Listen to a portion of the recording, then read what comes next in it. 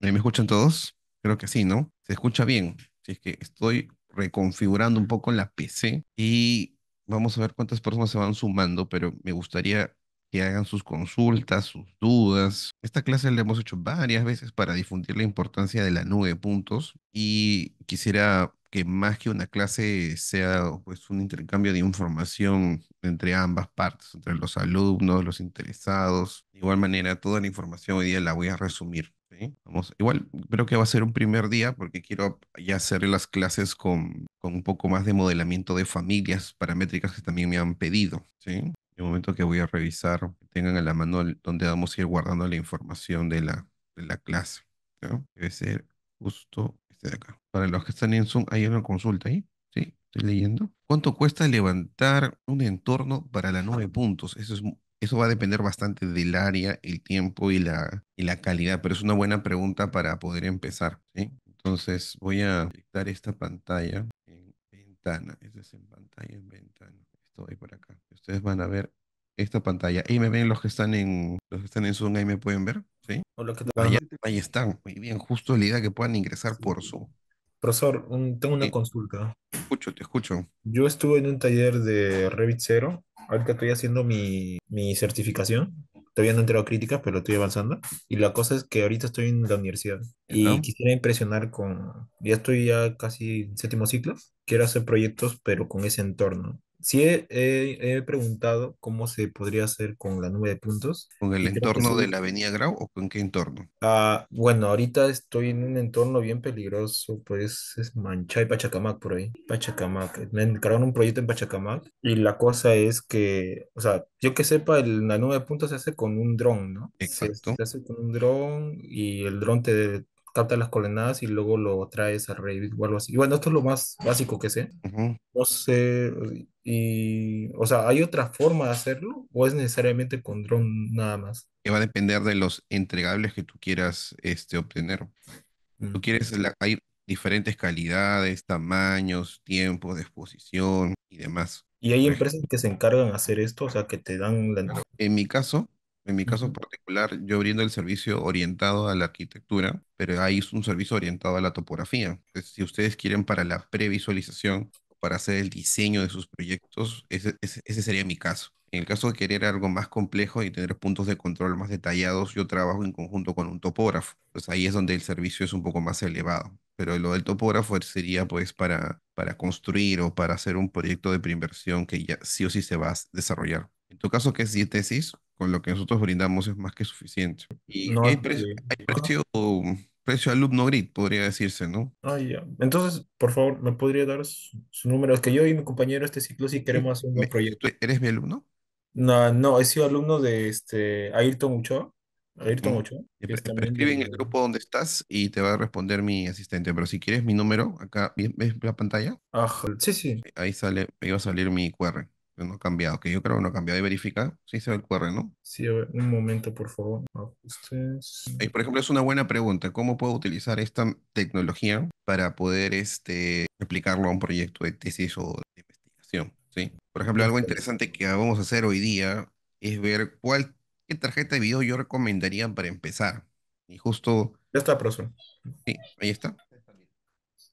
Todavía no la he abierto. Hoy día quieren el unboxing para el video. ¿Se ve ahí? Con esto podrías procesar una nube mediana, grande, dependiendo del tamaño que tengas. También incluye, incluye saber qué tipos de componentes tienes que tener para estos casos. ¿Me dejo entender? Sí. Ahora, creo que ya estamos todos. Voy a, chequear. ¿Ya? Ok. Entonces, yo tengo un resumen del plan B que ustedes pueden poder acceder. Sí. Y tengo otro resumen, que es, el resumen del resumen que ya hemos visto en clases anteriores. Y tengo ejemplos de algunos servicios que yo he brindado y también justo uno que estoy usando para investigación. Por ejemplo, este caso que es este del edificio que estoy haciendo mantenimiento, ¿no? Bueno, es, es mi propio edificio, ¿no? Ahí, ahí está la oficina de Grit, ¿sí? Pero el proyecto donde estoy avanzando bastante y testeando varias cosas y lo usamos para el curso es el entorno Grau. Ustedes han llevado Revit desde cero, Beam User, se ha creado justo este taller para que puedan esclarecer un, un poco lo que es este, la nube de puntos, ¿sí? Y los entregables. Entonces, si estamos atentos, les recomiendo que hagan apuntes para que ordenen su- sus ideas, ¿sí?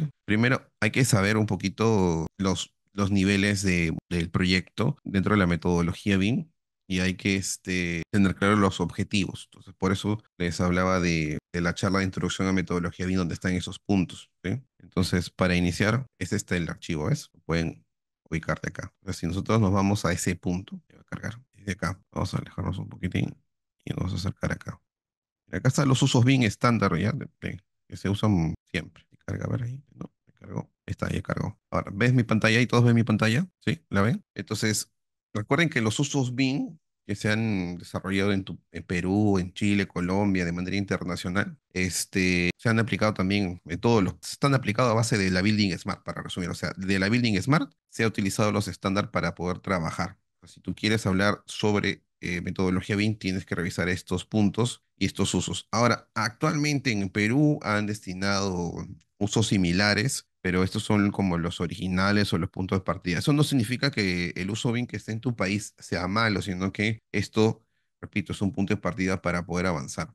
Entonces, si nosotros queremos saber en qué parte debo de usar la nube de puntos, avanzamos desde la etapa de diseño. Si nosotros queremos diseñar de manera precisa y exacta, lo más importante son las coordenadas. Y las coordenadas las puedes obtener de manera básica o detallada. Por ejemplo, este que está aquí se ha hecho con una herramienta que es este, un RTK, por ejemplo. ¿sí? Hay varias, varias marcas. ¿ya? Y esos puntos de control los hicimos en la uni para hacer esa prueba. Y hemos después estos benchmarks, ¿no? La recomendación es que el benchmark sea lo más claro posible para, para poder después revisarlo mejor. Entonces, puedes hacer un proyecto de nueve puntos detallado y puedes hacer un proyecto de nueve puntos sencillo y puedes usar hasta el GPS del dron, pero no es cualquier dron actualmente. ¿no? O si quieres bastante precisión sin necesidad de estar usando un RTK, recomiendo un dron más pesado, que sea más, eh, más moderno. Por ejemplo, este, este levantamiento que está aquí, yo lo hice con el Mavic 2 Zoom.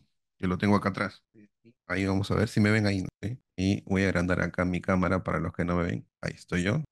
Mavic 3 Pro, ¿sí? Este de acá ya tiene sus cuatro años, ¿sí? Sigue volando. Lo he usado para proyectos acá en Perú y afuera también. Es más, con este he hecho proyectos en Francia. Con este de aquí es el que, este lo compré en Francia, por ejemplo, ¿ven? Salió más barato en Francia. Ahora, este que tengo acá en la derecha es un dron comercial dirigido a la, a la, a la visualización, a proyectos de cine, a proyectos este, que necesitan una mayor cámara para que se vea pues todo 4K, 8K, me dejó entender, ¿sí?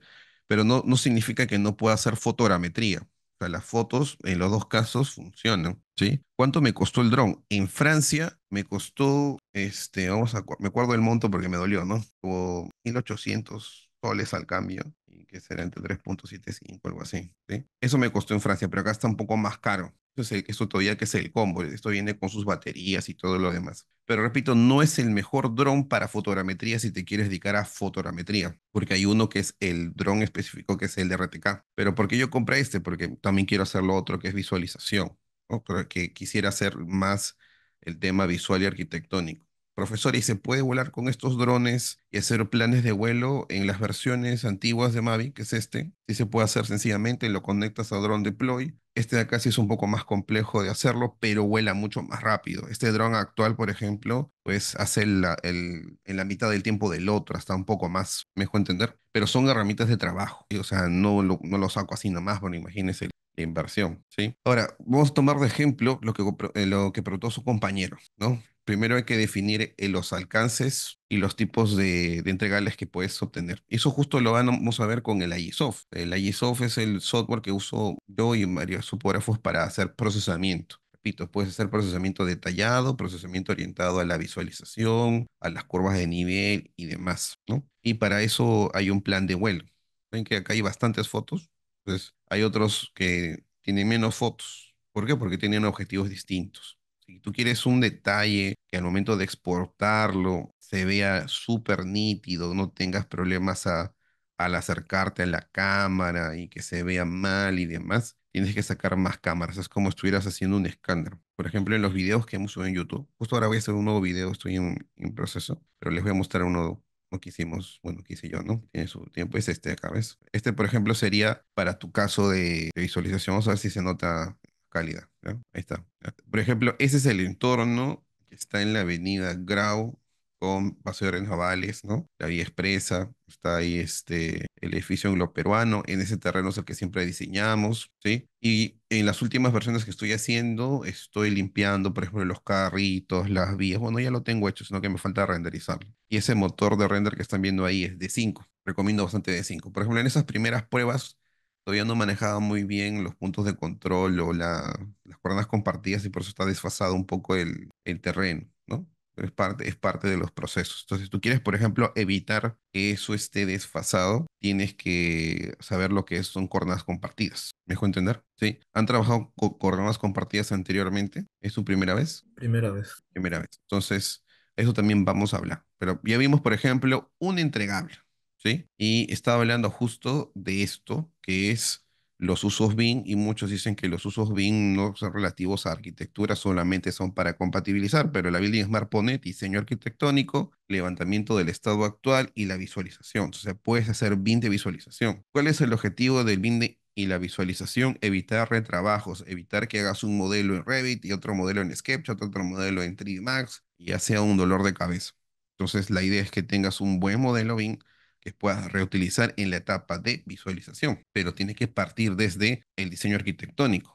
Si tu diseño arquitectónico, por ejemplo, tiene información no correcta, no bien planificada, este, pues el proyecto no va a ser milagros, ¿no? Por ejemplo, tengo estas plantillas que usamos para el entorno y nosotros ahí exportamos estas curvas de nivel que están acá. ¿Ves? Acá hay unas curvas de nivel. Voy a apagar esto, por ejemplo. ¿Ves esos puntos de control que están ahí? ¿Sí? Esos puntos de control voy a apagar estas flechitas. Ahí está. ¿Ves esos puntos que están ahí? Esos puntos que están ahí son importantes pactarlos con una planificación previa, ¿no? O sea, ir al entorno primero, visualmente, hacer un levantamiento básico con, con cámara. Si tienes el tiempo y la facilidad, lanzas tu dron y ese es un vuelo de previsualización. Entonces, miren que les voy a ordenar esto con ideas.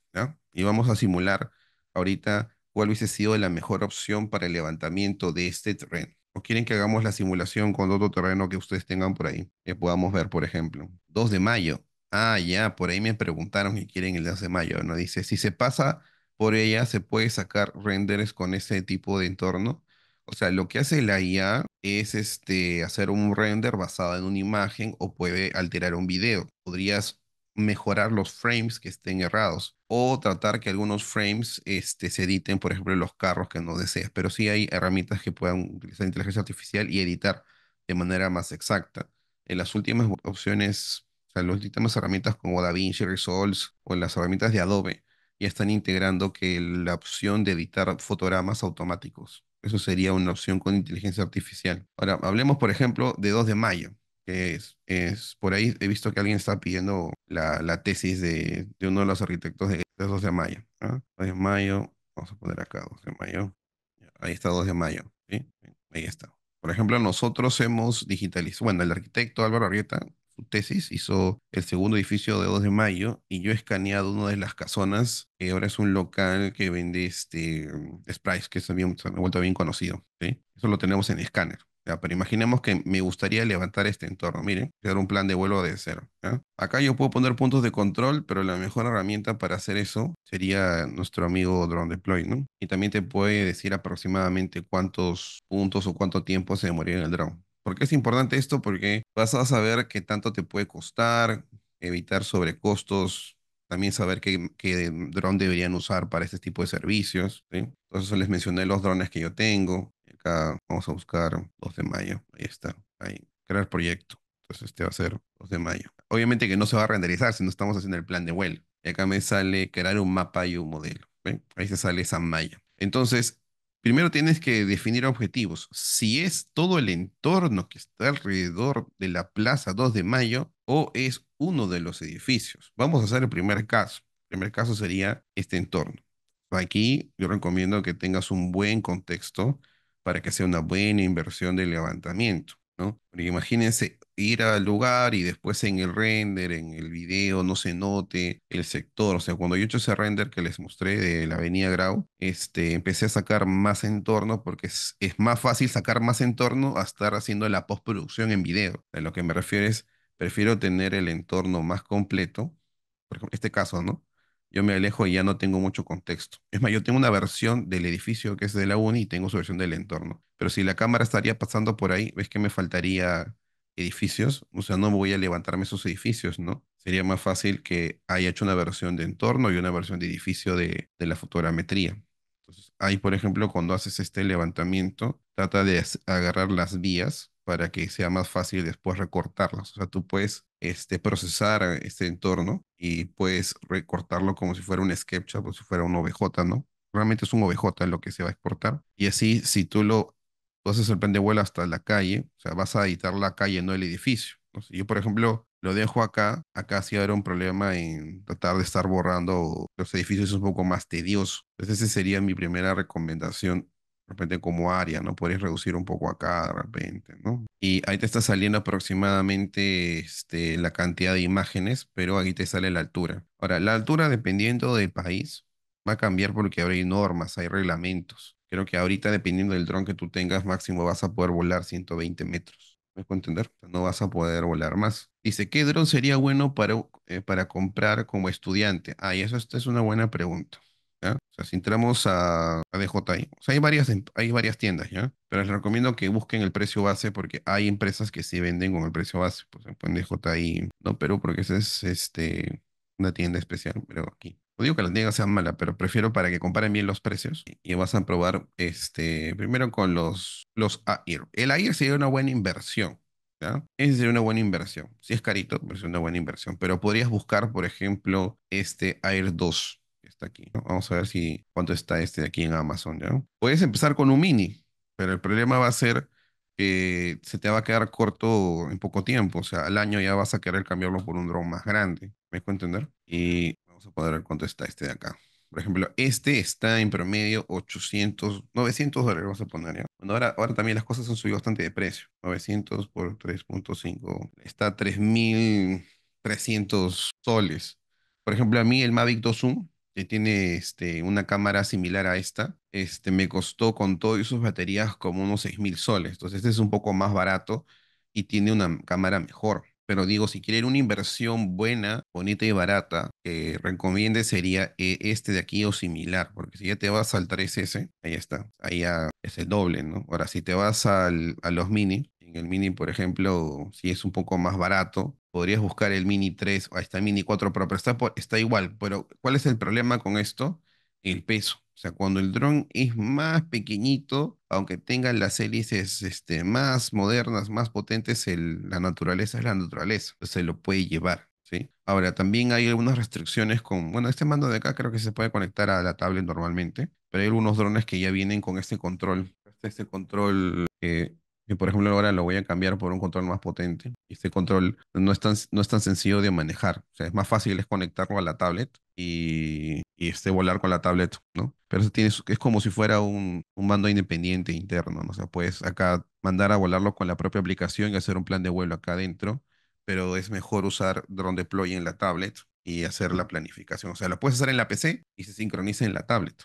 Entonces, repito, si quieres hacer algo súper básico, súper básico, y no vas a hacer el uso diario, o al menos, menos una vez, dos veces al mes del dron, podrías empezar con un mini. No recomiendo que sea tu primer dron. Recomendaría que sea un R2. Que creo que es el más bueno, bonito y barato. Es más, miren que siempre usamos ChatGPT en clase. Puedes hacer este, una comparativa con ChatGPT. Quieren que haga la comparativa y la tabla. ¿Están despiertos? ¿Han usado ChatGPT para comparar? SEO, la tabla con las especificaciones de JI2, JI este, tienes que poner, ¿no? Este, Air 2, 3 Pro, JI Mini y el Mavic 2. Y ahí te va a hacer una tabla resumida. El, el 4O pueden utilizarlo. Ahora, si es que van a hacer una sola vez este, este proceso, pueden alquilarlo o pueden, este, o pueden pedirle a un piloto. Ahí sí ah, no es tan costoso.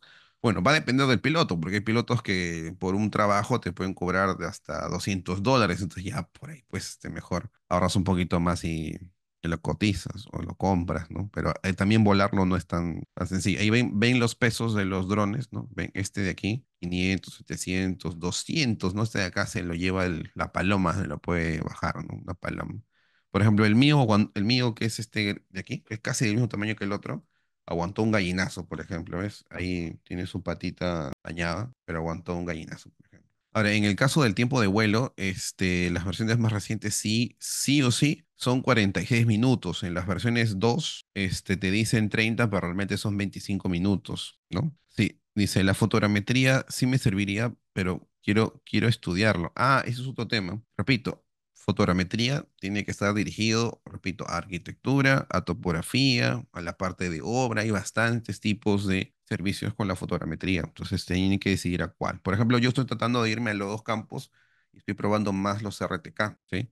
Para poder hacer que las nubes de puntos sean más precisas, ¿sí? Pero ya es otro mundo hacerlo, ¿no? Entonces, hacerle, por ejemplo, la- las velocidades. Por ejemplo, este es- estos de acá son un poco más veloces, ¿no? ¿Sí? Eh, y lo más importante también son los sensores que tiene el drone, ¿sí? Miren, este sensor llega hasta 48 megapíxeles, este tiene 12, ¿no? ¿Sí? Entonces casi son iguales, ¿ven? El mini de acá son iguales, ¿no?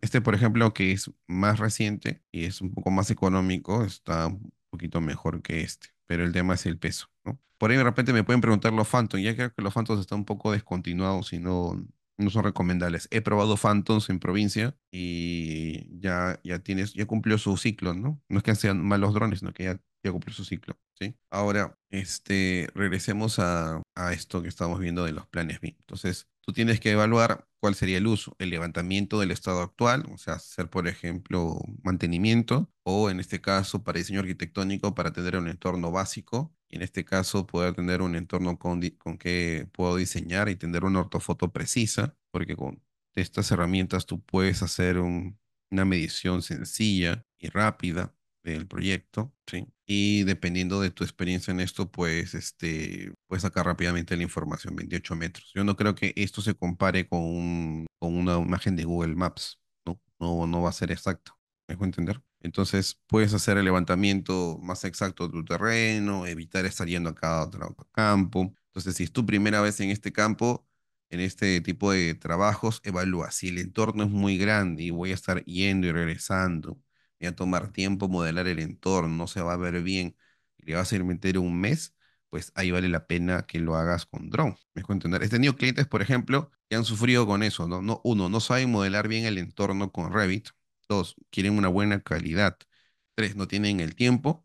Entonces, si te vas a demorar, pues, o vas a pedir un mes de vacaciones para levantar el entorno y lo haces mal, más barato te va a salir, pues, este, contratar el servicio o tercerizarlo, alguien que te ayude, ¿sí? Entonces, ahí hemos visto ahorita importante definir cuáles serían los usos. Si ustedes quieren ver este, más información de esto, aparte de, de Drone Deploy, tienen Pre4D, en Pre4D también hay ejemplos. Nos vamos a Pre4D Cloud, también les voy a pasar su enlace, van a vernos el, ejemplos de, de obra. Por ejemplo, el de obra, acá, es este. Y acá, por ejemplo, tú levantas esta información, ¿me puedes verlo en 3D? O sea, con la información de la fotogrametría puedes hacer un contraste con lo que vas a ejecutar en campo y tienes las grillas o los ejes exactos para levantar. Ahora, acá va un, va un tema muy importante. Si nosotros tenemos un proyecto que se va a diseñar, que es de la entidad, una entidad del Estado, es un proyecto que sí o sí se va a construir, el proyecto tiene que levantarse con puntos de control, ya que aunque tengas el mejor drone y no tengas puntos de control en tierra, puede ser que tenga errores. Entonces, la precisión que queremos al usar estas herramientas sea el milímetro, o sea, que sea este 0.011 milímetros de exactitud para no estar haciendo otro levantamiento más. Esa es la idea de hacer fotogrametría, pero para lograr esa exactitud necesitas puntos de control. Para eso necesitas un topógrafo y para eso necesitas tener claro qué herramientas se van a usar. Por ejemplo, aquí estaba grabando al, al ingeniero que me está ayudando. Vamos a apagar el audio. Y está explicando esta herramienta. ¿ven? Esa herramienta sirve para tomar puntos de control. Hay varios modelos. Hay modelos más detallados, hay modelos más precisos, hay modelos muy malos también, ¿no? Entonces, ese es un bastón y es que lo puedes estirar, lo levantas. Eso se, se o detecta otras antenas más lejanas y eso logra su precisión. Pero lo importante de esta herramienta es que también lo puedes medir gracias a su burbuja y a su láser que tiene interno eh, tomar medidas inclinadas. Por ejemplo, hay muchos topógrafos que todavía no conocen esta herramienta y siguen usando este, un teodolito para todas sus herramientas. No es que el teodolito se va a dejar de usar, sino que va a ser complemento del levantamiento del proyecto. ¿Me dejo entender? Va a ser complemento, pero no vas a hacer todas las mediciones con teodolito. Ya sería drone, RTK y el teodolito complementaría esto en camp. ¿Me dejo entender? Usando las referencias exactas y el milímetro que te va a brindar el RTK. ¿Me dejo entender? ¿Sí? ¿Entendió? Entonces, ahí ven que podemos tomar esas medidas. Obviamente que es importante revisar el entorno que vamos a ejecutar ¿Por qué? Porque puede haber que haya muchos árboles, hay edificios muy altos, entonces tampoco es ir nomás y levantar, tienes que esperar hacer un plan eh, de trabajo, ¿sí? Entonces, repito, puedes diseñar, puedes hacer levantamientos de- actuales del entorno, te va a servir también para la construcción, te va a servir para hacer este, inspección de los proyectos, ¿me dejo entender? Hay un campo bien enorme. Es más, en el propio, las propias páginas de Pix4D te dicen todos los usos que puedes tener, ¿no? Y te salen los usos. Ahora, ya otro tema este, más extenso es el, este, el de la agronomía o hacer también seguridad. Ahora, por ejemplo, los nuevos drones que han sacado tienen una estación que sirve para poder hacer este control de seguridad. O el dron sobrevuela y, regresa a, campo las veces que tú lo programes. Puedes hacer una programación de vuelo diaria que se repita con el dron y es más, más este, fácil tener pues una noción de la seguridad que hay en, tu entorno, sobre todo el tema militar o tema de la guardianía o edificios del Estado deberían tener ese tipo de dron, ¿sí?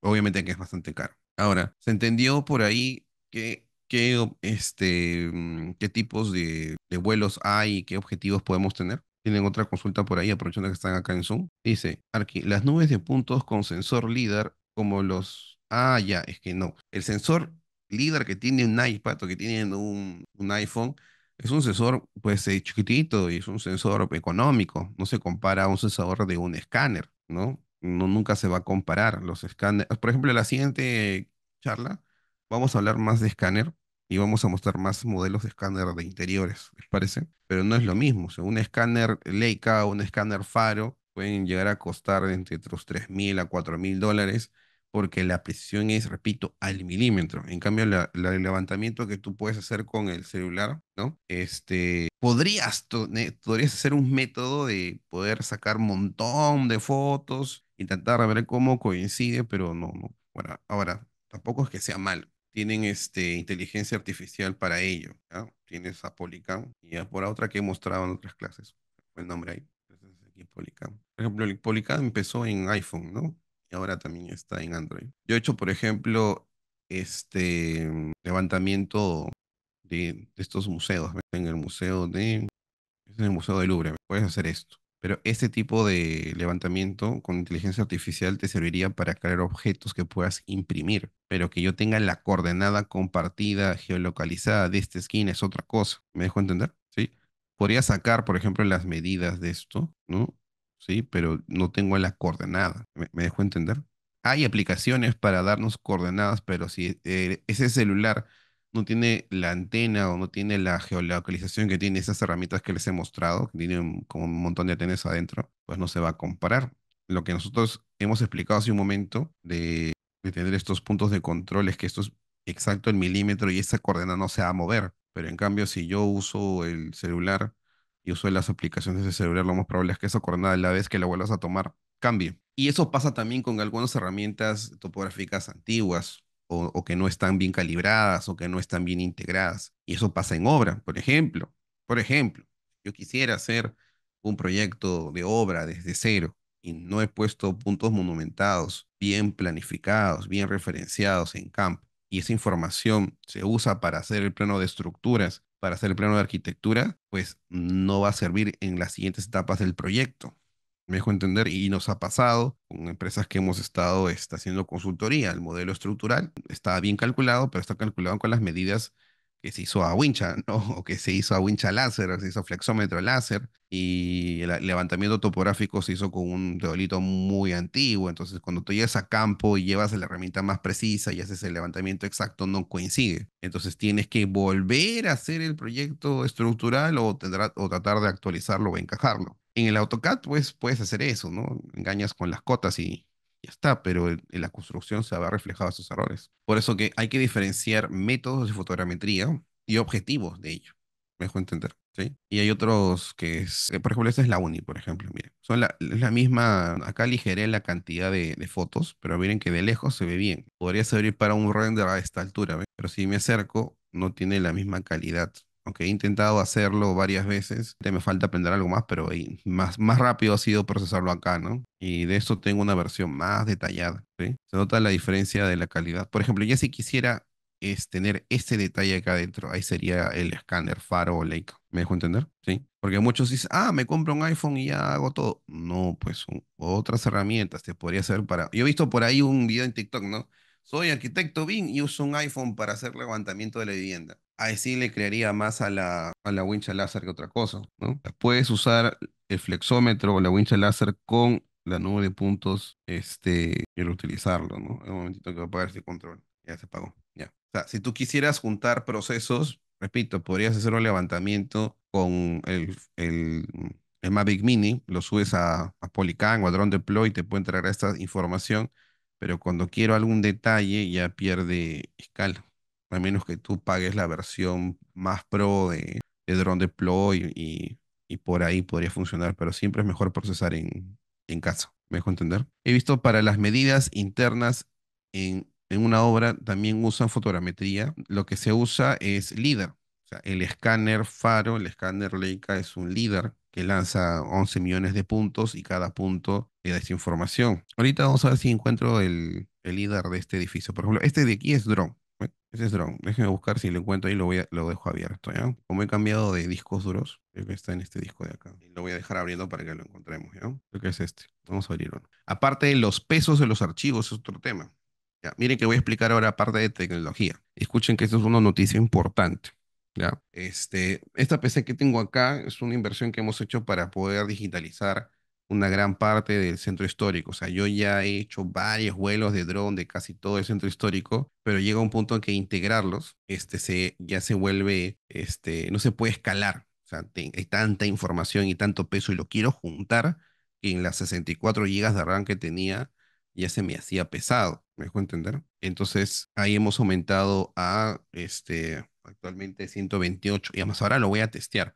Ahora, la RAM no solamente es el problema, el problema también va a ser este, mm, la cantidad de discos duros que tú tengas de manera local, porque tú si vas a procesar de manera local tienes que tener una buena cantidad de discos duros, y discos duros de alta velocidad, ¿me dejo entender? No, no básicos, ¿sí? Y ahí va el tema que las placas actuales no tienen tantos puertos para poner tantos discos, ¿sí?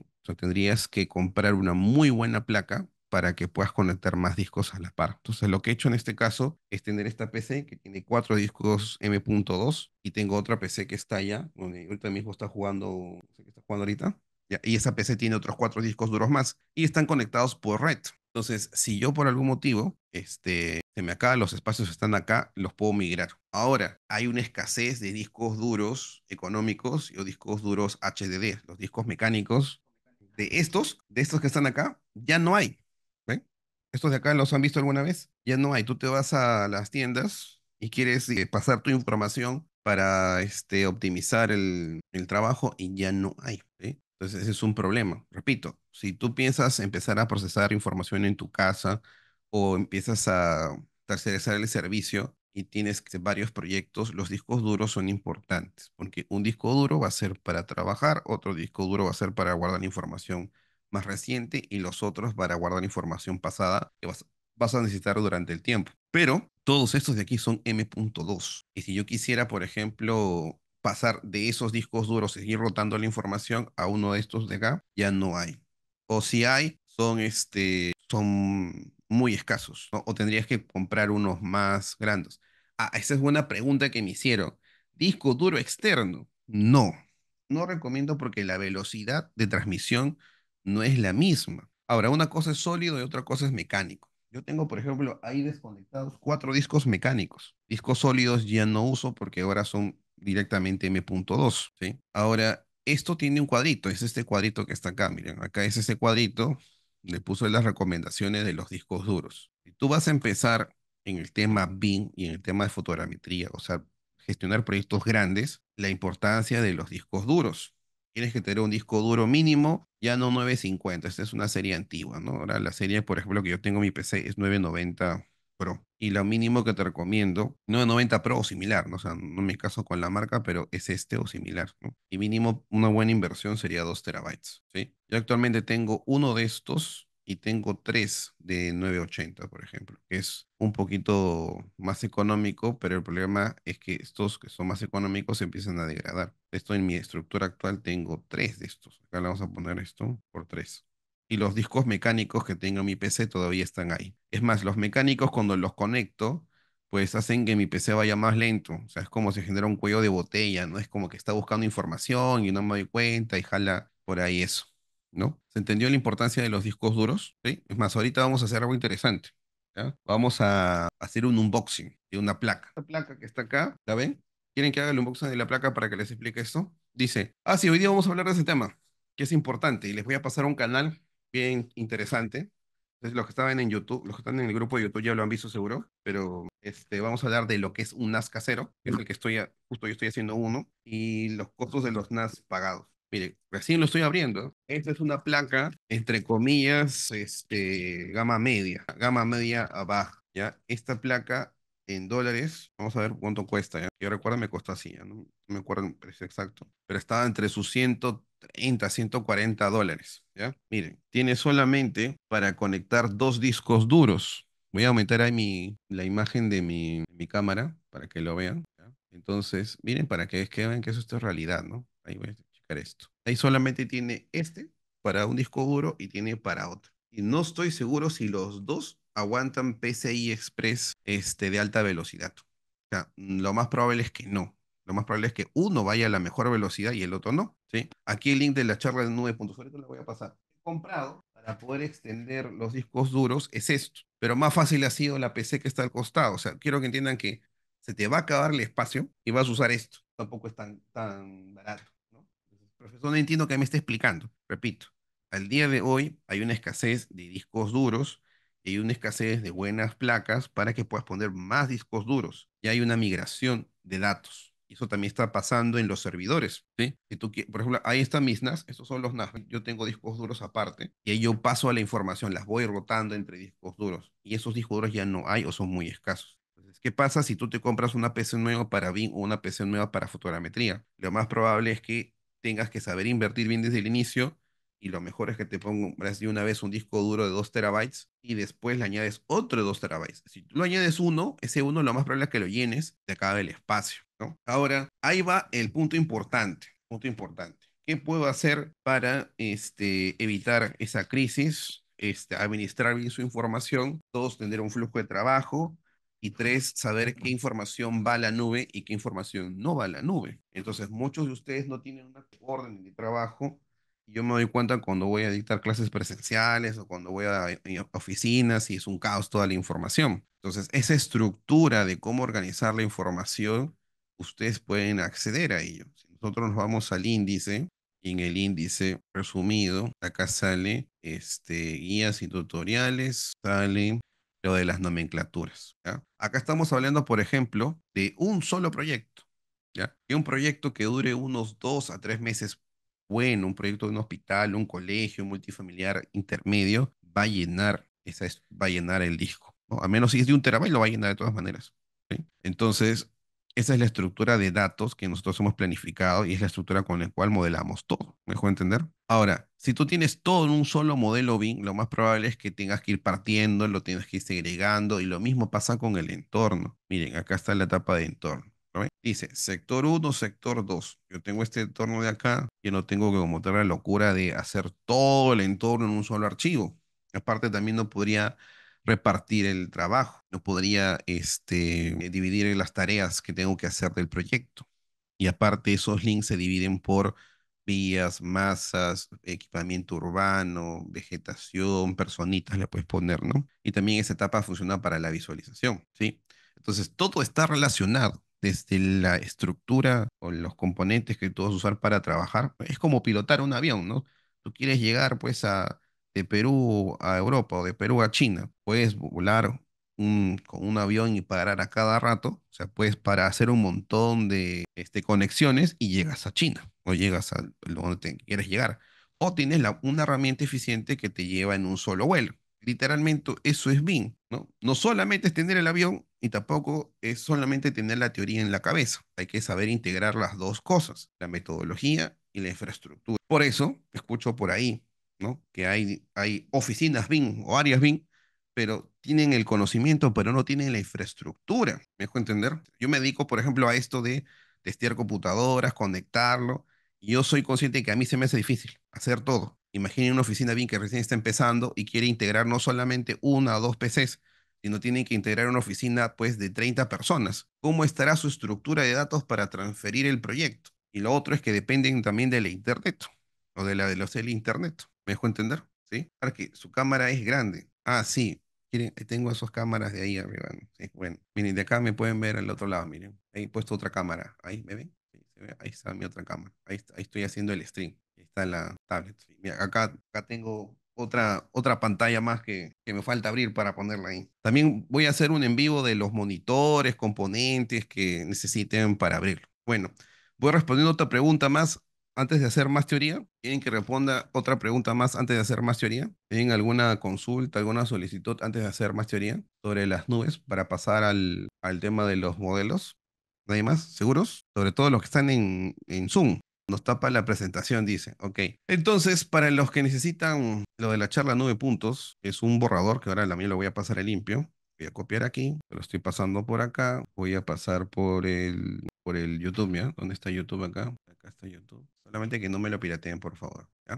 Ya está. Y hay una pregunta, creo que por ahí en el chat. ¿Ya? ¿Cuánto tiempo de duración, cuánto tiempo es la duración de un certificado de fotogrametría? Todavía no hemos hecho el curso de fotogrametría que, estoy, que todavía no lo hemos lanzado, es parte de mi user, es parte de la certificación integral, pero me han pedido que haga un curso exactamente de fotogrametría, ¿no? Podría ser con el topógrafo que les he mencionado, ¿no? Entonces, regresando acá, estábamos viendo este, lo que es drone deploy, ¿no? Entonces, acá hemos hecho un ejercicio práctico, voy a bajar acá el tamaño de mi cámara, voy a poner por acá, por ejemplo, ya, está, sí, entonces, acá tengo, por ejemplo, este mapa. Este mapa le vamos a poner que es una primera versión a poner que es Grau versión 1, ¿ya? Y esta versión que está acá va a ser de el, no, no es Grau, este es este 2 de mayo, 2 de mayo, versión 1 guion en entorno, es del entorno, ¿correcto? Acá le estoy poniendo la altura máxima que es de un metro. Y acá me va a salir qué tipo de dron voy a poder usar. Entonces acá tengo que activar la opción avanzada. Me dice que hay una automática que es 75 a 65%, pero lo recomendado es que tú hagas un buen cruce, que puede ser de 80-80. Entonces ahí va aumentando la cantidad de las baterías. Y ahora, la velocidad sí no ha sido un problema. Y acá te sale, por ejemplo, el, el crosshash. El crosshash, por ejemplo, es para hacer esto. ¿eh? Es una doble dirección. ¿Por qué es recomendado esto? Para que, aparte de que tengas un 2D, un 3D. Ahora, es siempre necesario tener los dos casos. Si hablamos, por ejemplo, de un proyecto de taller, estamos hablando, por ejemplo, lo más básico, un proyecto de taller de la universidad, creo que lo más esencial sería la ortofoto y las curvas de nivel. Entonces, por ahí puedes priorizar que sí sea un perímetro 3D y la cantidad de baterías va a ser menor y sería 17 minutos. Ahora, vamos a ver con qué dron está. Dice el Mavic Enterprise, y ese es otro level, ¿no? Este, este, por ejemplo, es la velocidad y tipo de cámara que tengo actualmente, que es el Mavic 2, Mavic 3, ¿no? Vamos a poner uno más estándar del mercado, que podría ser un Mavic 2 Pro. O sea, la mayoría de drones que ahorita se usan en fotogrametría, la mayoría es este, o más antiguos. Ahí van a ver que la batería cambia, Entonces, ven que un dron más moderno, más actual, tiene un mejor sensor, puede hacer el trabajo más rápido. Por eso de ahí puede ser un poco más costoso, cobran un poco más el costo por hora. Ahora, tú puedes en este caso cambiar acá estos 70%, 70%, pero vas a tener más espaciado en las cámaras. De repente para fotogrametría no habría problema en 70%, 70%. Ahí ven que el ángulo de la cámara está hacia abajo, o sea, solamente va a tomar eh, la pista. Si nosotros revisamos, por ejemplo, un ortofoto, que es como se usa en clases, ahorita vamos a ver un ortofoto. Voy a abrir una ortofoto que está acá. También se la, la van a tener en el drive, ¿no? Acá. Esta está, es esta line, ¿no? ortofoto. Y creo que la última versión es esta de acá. Ya le ha pasado un momentito. Voy a mostrar la última versión de ortofoto que he hecho. Si no está acá, pues está aquí. Aquí está. Vamos a ver si está acá. Sí. Esta es la última versión de ortofoto que he hecho. Miren la calidad. Como he ido purgando fotos, he ido haciendo mejor procesamiento, ven que hasta el murito se nota bien. Ven como el muro se nota bien, es como si fuera este, un corte, una planta de ese muro, ¿no? Pero si el dron este, sobrevuela mal o no tienes un buen plan de vuelo, no va a llegar a este nivel de detalle. O hay zonas, por ejemplo, donde no pasó correctamente el dron porque pasó un carro, pasó un bus, o la cámara faltó ahí, pasó un error, ven que tiene ese problema, ¿no? ¿Ven? Entonces, la idea es que tú logres hacer un buen plan de vuelo para que pase esto de manera correcta. Aunque tengas el mejor, los mejores puntos de control, siempre puede haber un error humano. Y voy a aprender, por ejemplo, las cámaras. Están las cámaras, ¿ven? Entonces, este, por ejemplo, es un vuelo mixto. Es un vuelo de entorno y un vuelo de, o sea, de, de ortofoto y un vuelo 3D. Es un mixto para que pueda tener los dos productos, ¿no? Dice, hay una consulta ahí. Buenas, posee un levantamiento de ISOP y, y lo lleve a Revit para poder volverlo sólido. ¿Cuál sería el procedimiento? ¿Cuál sería el siguiente paso? Ah, ya. Primero, justo está explicando de que acá hay dos tipos de vuelo. Entonces tú puedes exportar esta información y lo exportas como nube de puntos. Y la nube de puntos que está acá, hay una nube de puntos densa y hay una punto de nubes ligera. Por ejemplo, es esta la ligera. A partir de la ligera que se procesa por primera vez, puedes crear esto. Pero tengan en cuenta que cuando tú mandas a procesar esta información, este, hay este flujo que está acá, el que te pone por defecto a GSOF. Pero en algunos casos puedes saltar de eso y te puedes ir de frente a lo que es ortofoto. Va a depender de los objetivos. Pero si yo quisiera, por ejemplo, el 3D, puedes ir de frente a este de aquí y acá están las calidades. Por ejemplo, este que he sacado está en height y hay otra versión que tengo en ultra height. Para un proyecto formal debería ser en height siempre, ¿sí? Eso te va a ayudar a ver algunas irregularidades. Y este que está acá, repito, no es con la mejor cámara del mundo, es un Mavic 2 Zoom, es un dron, entre comillas, antiguo, ya tiene sus años. Y voy a hacer unas pruebas ahora con un Mavic más moderno, por ejemplo, para que se note mejor. Entonces, este que está aquí se exporta como nube de puntos y dependiendo de tu PC y tu procesamiento, lo puedes hacer. Acá te sale en formato LAS, este de aquí, ASPRS LAS. Entonces, acá va justo el tema del peso. Si yo lo quisiera guardar, vamos a ver que acá tengo una versión LAS HD Grau. Miren cuánto pesa ese HD. Pesa 10 gigabytes, ¿no? Entonces, si tuviera un disco duro de un terabyte y hago varias pruebas o tengo varios proyectos en el mes, 10 gigabytes ya se llena. ¿Ven? Yo no miento, ahí está. Dejen su like, por favor, los que están en YouTube. No se olviden, dejen su like los que están en YouTube. Dejen sus comentarios también. Y acá te sale, por ejemplo, otro que estaba probando. Es una versión 3, ¿no? Ahora yo le pongo acá las grado versión 1 y dependiendo de la memoria RAM y la, y la información que tú tengas, vas a exportar esto más rápido, ¿no? Acá le voy a dar OK. Ah, sí, pero tengo la versión de demo, todavía no he activado esto. Tengo que tener la versión pagada y le voy a poner la licencia, ¿ya? Dice, o sea, profe, 10 pruebas y ya no daría más. Este, por eso hay que saber exportarlo y hay que saber sacar calidades. Porque esta calidad que tengo acá, mira, esta de aquí tiene 66 millones de puntos y esta que tengo acá tiene 339 millones de puntos. Son literal seis veces más, casi seis veces más que el otro. Ahora, yo necesito que esté tan detallado, va a depender de los objetivos. Si tu objetivo, por ejemplo, es con un vuelo de dron, un solo vuelo de dron, tener hasta la curva de nivel y la línea de las veredas y los sardineles al detalle, sí, y sobre todo de ese tamaño, ¿no?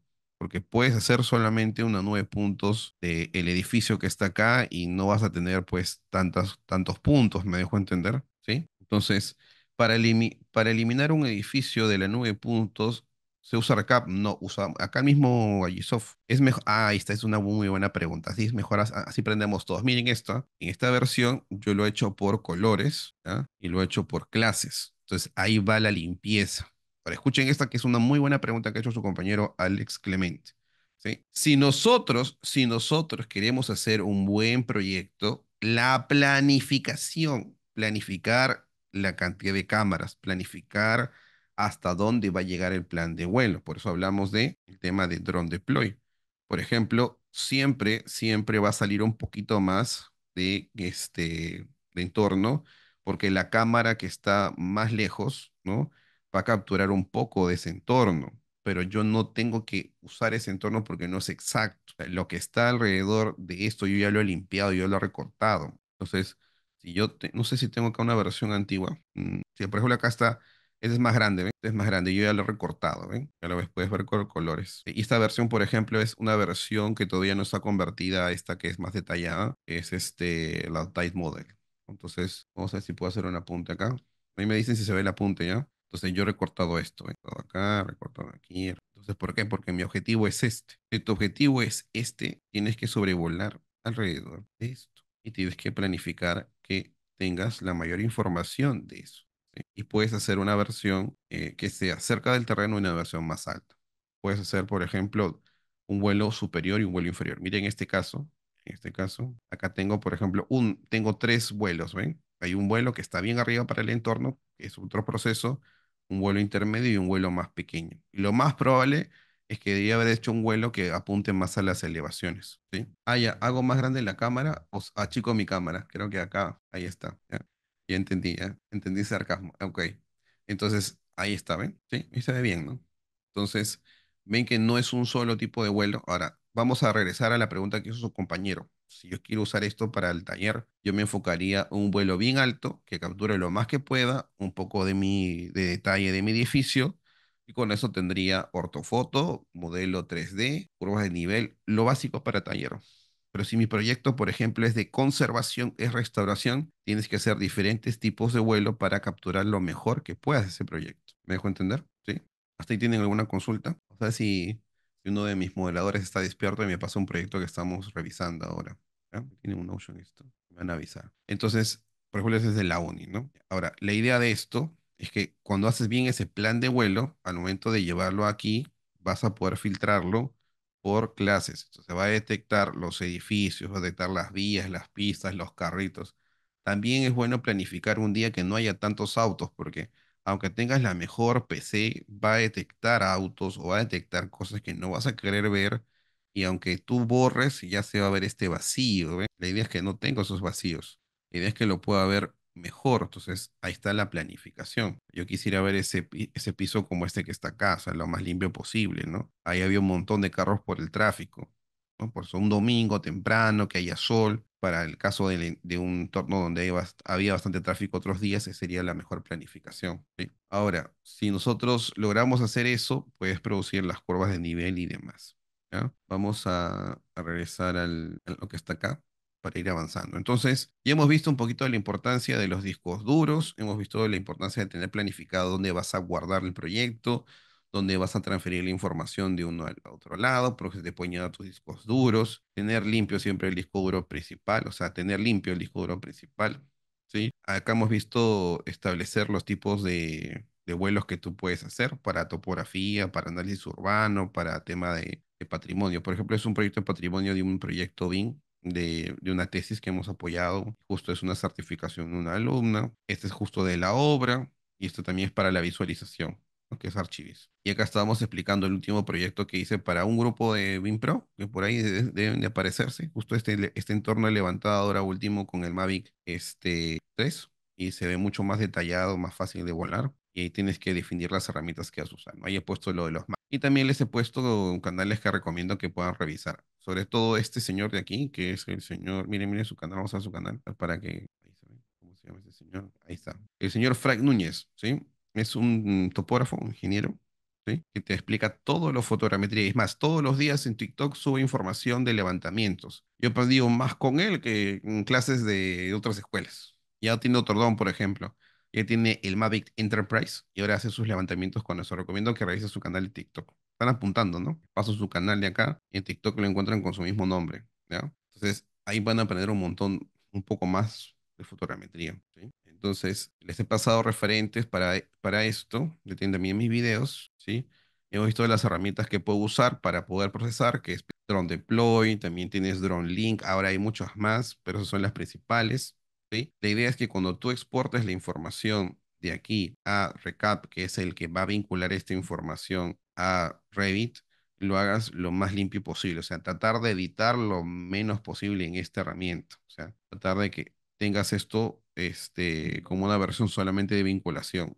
Mejor entender, o sea, Recap te puede servir para vincular a Revit, corregir una que otra cosa. Más de eso, este, no lo recomiendo. ¿sí? Vamos a aquí cerrar esa versión que está muy pesada. Tarea. Y hay otra cosa, o sea, tú puedes hacerlo de manera local o de manera online. Si tú lo quieres hacer de manera local, tienes que tener una buena PC, ¿sí? Ahora, ¿quieren ver la tarjeta de video que recomiendo para estos casos? Hacemos el unboxing ahorita. ¿Están despiertos ahí? ¿Quieren ver el unboxing de esta tarjeta de video? La pregunta, y lo importante de esto, ¿por qué lo muestro hoy día? Esta tarjeta de video de acá es la mejor costo-beneficio. ¿Entrará en una laptop? ¿Solamente es para fotogrametría? No, también es para BIM. ¿Me dejo entender? Le vamos a hacer el unboxing. Vamos a abrir acá, ahí se ve, y vamos a ver si puedo prender la otra cámara, ahí se ve, ahí estoy, esto por acá. No, esta no, la otra no más. Sí. Necesito una cuchillita. Miren, esto vino con la placa Asus ProArt. Ojalá que Asus me, me patrocine, ¿no? Algún día. No, es una relita. Y ahora ya no sería coleccionable. ¿Lo romperá?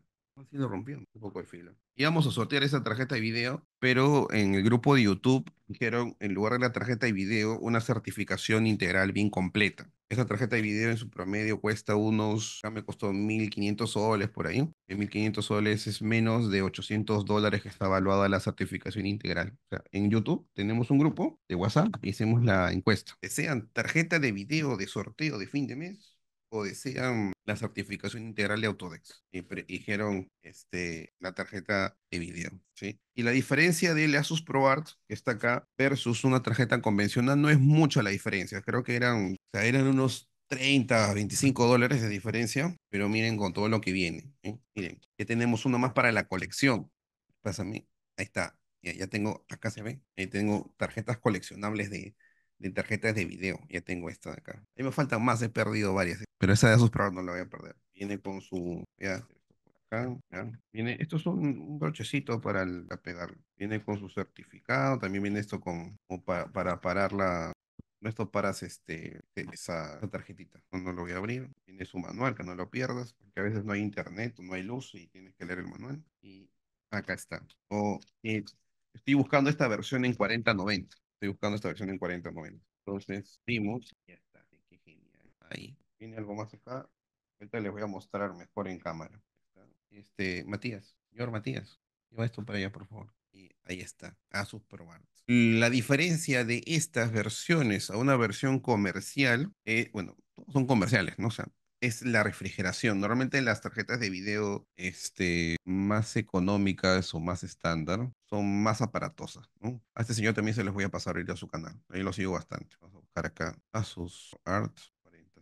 Vamos a ver cuánto está en promedio. ¿ya? Y esta es de... ¿Cuánto es esta de acá? Creo que es de 8 GB, por eso no está tan caro. Es de 8 GB, porque creo que hay de más. ¿ya? Y ¿dónde lo hemos comprado? ¿O dónde recomiendan comprar? Acá en Perú, ¿ya? Composición quieren comprar esto, lo pueden comprar en grito o lo pueden comprar en composición. Realmente ellos son mis proveedores. Ahí les compro siempre. No sé si tienen, porque yo me acuerdo que me la llevé.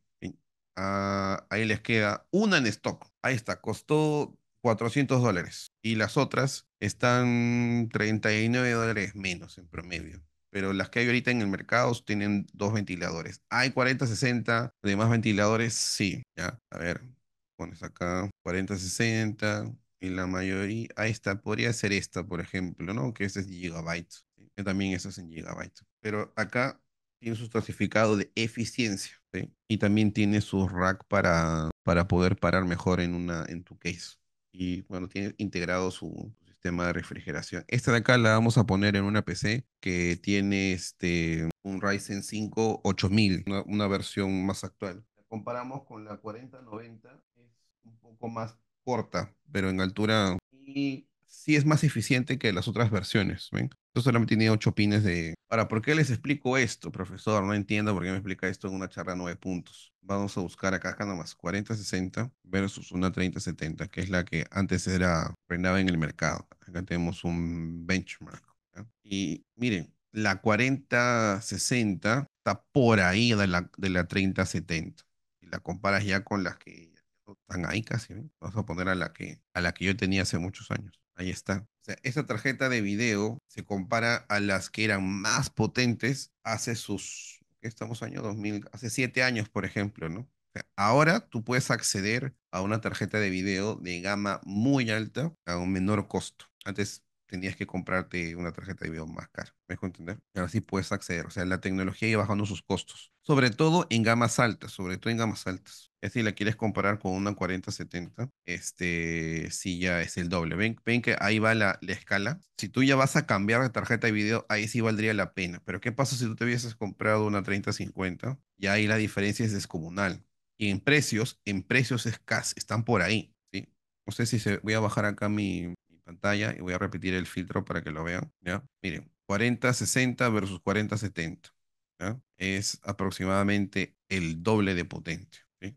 El doble. Si tú te hubieses comprado la 3050, esta es este, tres veces más potente casi ya de, de la que tienes, ¿me dejo entender? Entonces es importante las recomendaciones. Tú vas a modelar en el año 2024-25, es bueno invertir en la 4060. Ya si quieres escalar de frente, te vas a, a esa tarjeta de video. ¿Me dejo entender? No compren por comprar. Me dejo entender. No compren por comprar.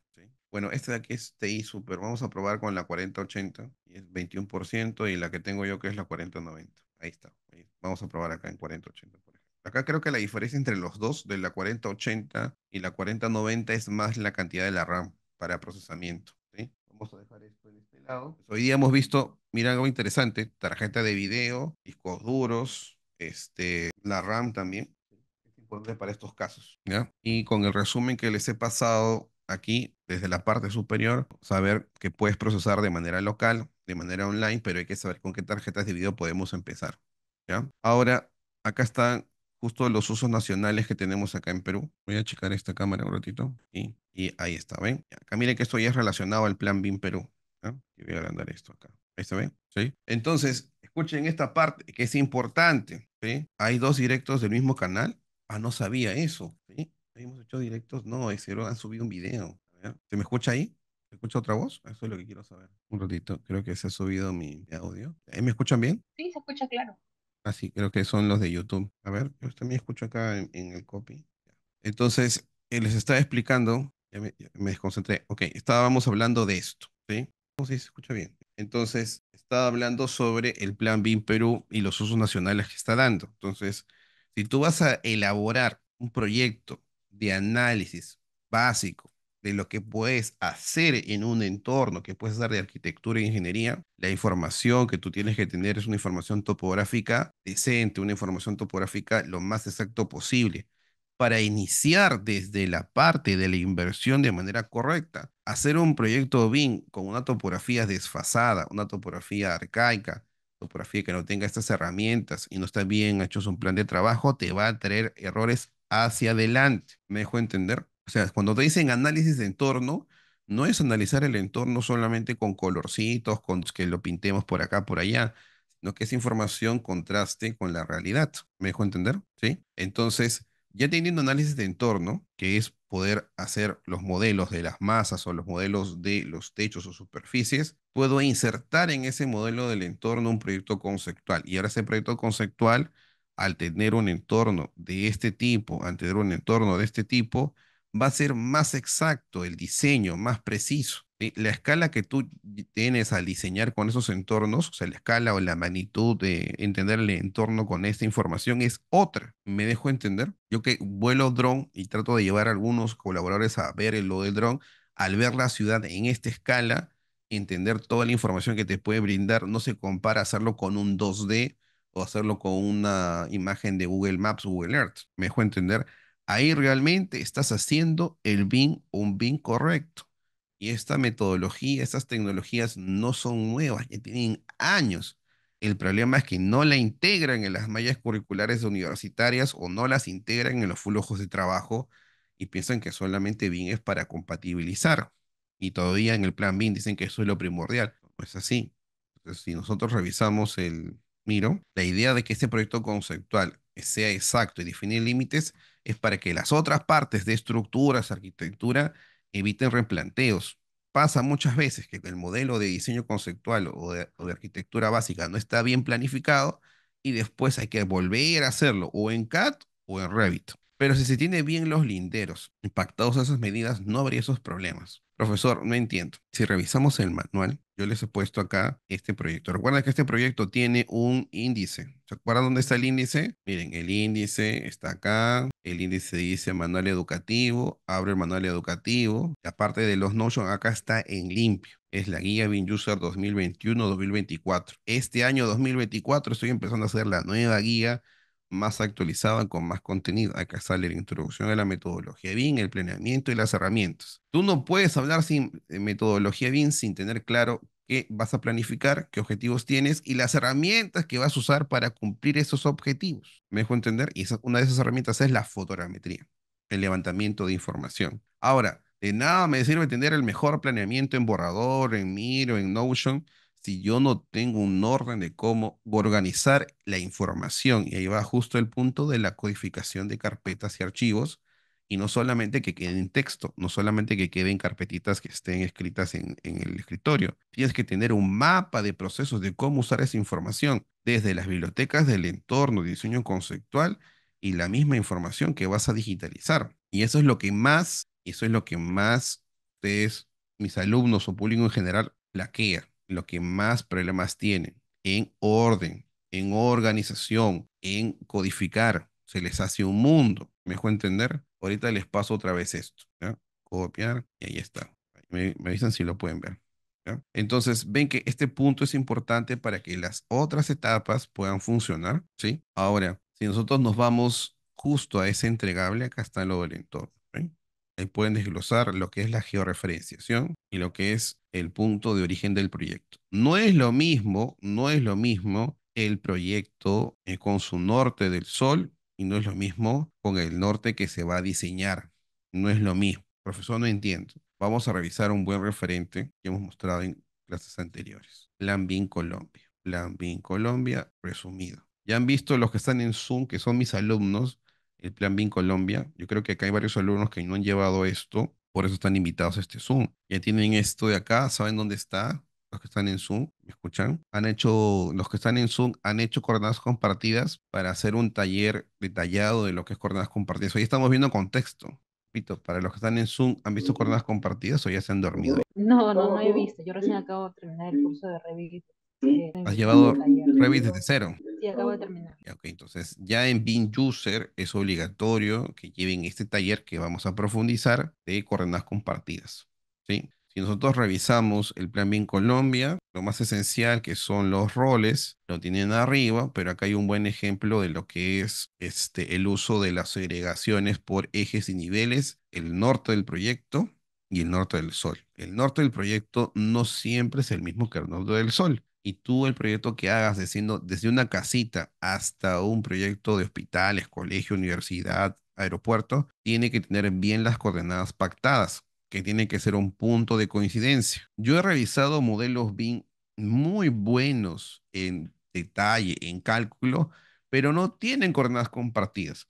Significa que cuando lo quiera reutilizar otra persona de otra especialidad, no va a calzar o si quieres que calce, va a haber demasiadas correcciones que se tienen que hacer. Entonces significa que el modelo de entorno con sus coordenadas, más el modelo de estructuras, más el modelo de arquitectura, deben de tener esa información. Ese miro lo podemos pasar por ahí del plan BIM, pero escúcheme por favor, escúcheme, préstame atención. Todo esto está en el índice de grid. Ahorita les voy a pasar y se los voy a volver a explicar. Miren, es muy importante que lean esto. Es un manual gratuito para evitar que estén comprando miles de libros. El libro está bien para revisarlo, pero este es el resumen, ¿sí? Y acá está este, el plan resumido de Perú, el plan BIM Colombia, está la certificación integral de este año y la línea de tiempo de los cursos, ¿sí? Lo de las nomenclaturas está acá en guías y tutoriales. Lo de la software también está y todo está acá. Y es más, ahora vamos a ir subiendo los ejemplos de entornos que hemos desarrollado y también de los mejores cursos de Revit, vamos a ir subiéndolos ahí, ¿sí? Entonces, regresamos y estábamos viendo el de Colombia. Ahí te sale lo que es este, el punto de coincidencia. Voy a abrirlo en un Revit para que se entienda. Y este, por ejemplo, es una plantilla. Y esta plantilla tiene la opción de Insight. Pregunta para los que están en Zoom, que son alumnos. La mayoría son alumnos matriculados, ¿no? ¿Han trabajado ya con el Norte del Sol y Norte del Proyecto en Revit de cero? ¿Lo han hecho? No, arquitecto, no. Entonces, ese taller, bueno, yo trato de hacerlo en mi curso, porque soy el especialista en este caso, pero para eso está el taller, para profundizar. En una siguiente clase vamos a, a agarrar un proyecto, lo vamos a insertar en esta plantilla y vamos a probar los este, puntos de control y vamos a probar las coordenadas compartidas, ¿sí? ¿De acuerdo? No es obligatorio para Revit de cero, pero cuando quieras pasar a user, al menos esta charla, te va a servir para empaparte un poco en el tema, ¿me dejo entender? En BinUser lo tocamos de sí o sí o de manera obligatoria, ¿ya? Entonces, gracias a esta plantilla, yo puedo insertar cualquier proyecto. Por ejemplo, voy a abrir uno de acá, por ejemplo, miren, un, un proyecto de la biblioteca, ejemplo, ¿ya? Abrir ejemplos. Y vamos a abrir este que dice que es un BIM Project, ¿ya? Quería estar en 2024. Dice más, dice, mientras que está abriendo el Revit, dice, ¿cuál es la diferencia entre Revit y Rhino? Revit es más un software madre para integrar todas las herramientas, modelar de manera estándar, pero Rhino hace más el diseño procedural. Por ejemplo, este proyecto tiene su propio Browser Organization avanzado. ¿Sí? Y para que vean que nosotros no nos hemos inventado todo, ¿no? Ven que el propio Autodesk te da un proyecto bien ahí, ¿no? Y si yo uso ML, y ahí tiene su, su entorno, pero vamos a compararlo con la plantilla de grid que es más madura, es más actual. Ahí te salen más enlaces y aparte faltan las otras especialidades. Ahora, supongamos que ese proyecto lo quiero reutilizar en el otro archivo.